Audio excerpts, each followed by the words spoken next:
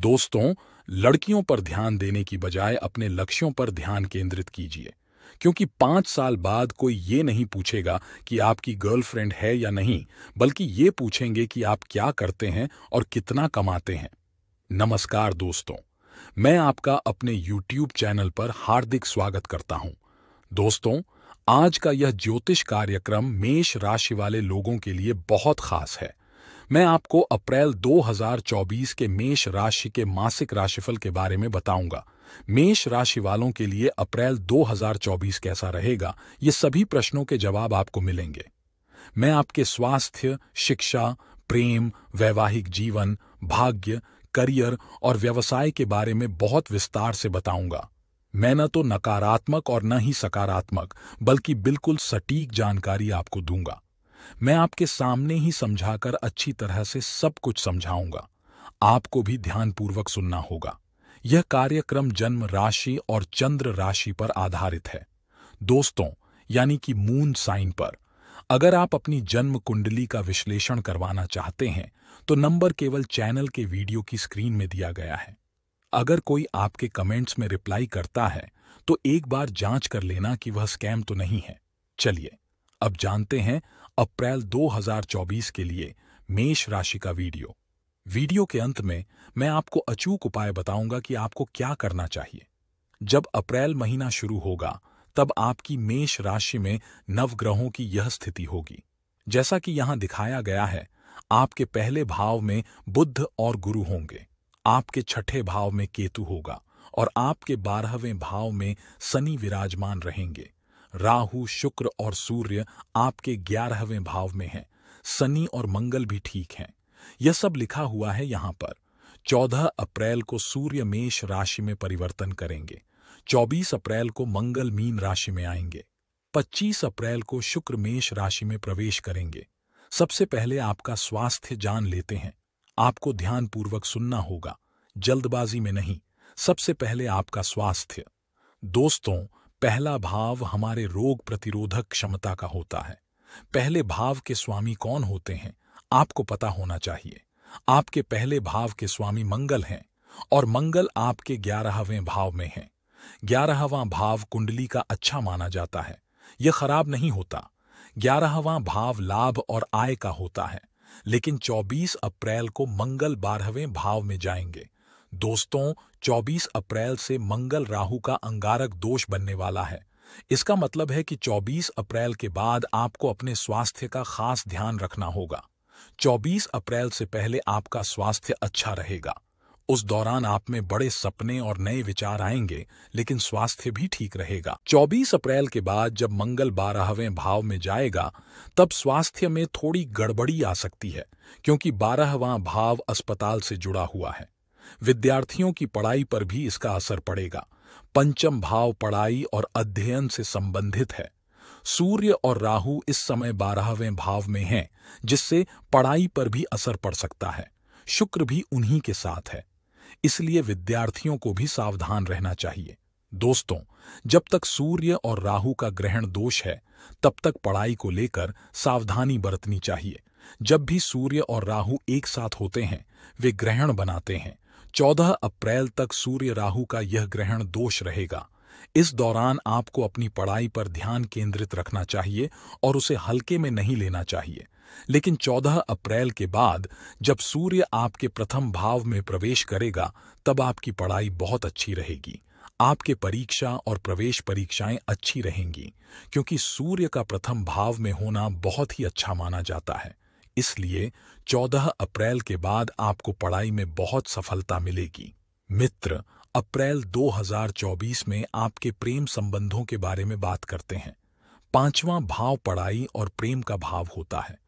मैंने बताया था कि यहाँ सूर्य स्वामी ग्रह हैं और वे राहु के साथ बैठे हैं। इसका अर्थ है कि रिश्ते में चलने के लिए दूसरे की बात माननी पड़ेगी। सूर्य के साथ राहु और शुक्र का होना दूसरे व्यक्ति के मूडी स्वभाव को दर्शाता है, न कि आपका। जब सूर्य के साथ राहु बैठते हैं तो वे दूसरे में संदेह और गलत फहमी पैदा कर सकते हैं। राहु एक छाया ग्रह है, जो भ्रम पैदा करता है। यह आपके रिश्ते में कहीं न कहीं असमंजस ला सकता है। यह दशा चौदह अप्रैल तक रहेगी, लेकिन जैसे ही सूर्य यहाँ आएँगे, वो पहले घर में ट्रांजिट कर लेंगे। यह आपके लिए बहुत अच्छा रहेगा। इससे वो अपनी गलती को मानेंगे और स्वीकार करेंगे। कहीं ना कहीं आपका प्यार भरा रिश्ता भी बेहतर दिखाई देगा। लेकिन आपको भी अपना गुस्सा कुछ कंट्रोल करना होगा। वैवाहिक जीवन की बात करें तो दोस्तों, सातवें घर में विवाह का स्वामी बनता है। आपका शुक्र 25 अप्रैल तक बारहवें घर में है, जो अच्छा माना जाता है। इससे मैं देख रहा हूँ कि आपका वैवाहिक जीवन अच्छा रहेगा। अगर आप अपने जीवन साथी के साथ विदेश यात्रा, धार्मिक यात्राएँ या कोई बड़ी परिवार नियोजन जैसी बड़ी योजनाएँ कर सकें तो बहुत अच्छा रहेगा। इस महीने ओवरऑल अच्छा रहेगा, क्योंकि 25 अप्रैल तक शुक्र मीन राशि में एग्जाल्टेड अवस्था में है। हालाँकि, मंगल और शुक्र के बीच बारहवां कनेक्शन है। इसका मतलब है कि आपके जीवन साथी के विचार आपसे अलग हो सकते हैं। वैचारिक मतभेद तो होंगे, लेकिन ओवरऑल वैवाहिक जीवन अच्छा रहेगा। सबसे महत्वपूर्ण विषय भाग्य, करियर, व्यापार और दोस्तों का है। भाग्य का स्थान नवम भाव होता है और करियर का दशम भाव। आपके यहाँ शनि और गुरु पहले भाव में हैं। पूरे अप्रैल में गुरु यहीं रहेंगे।